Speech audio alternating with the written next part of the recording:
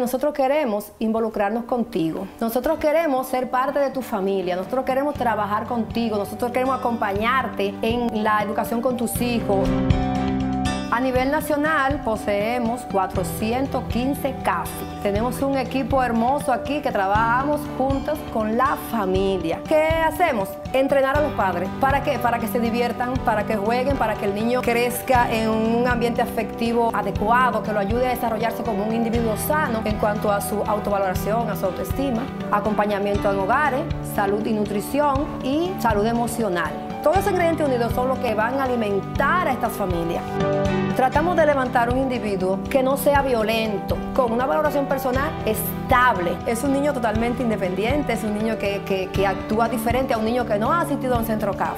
Vamos a tener logros, claro que sí, la diferencia va a salir. Tiene que salir porque se está sembrando. Y si se siembra bueno, se cosecha más bueno.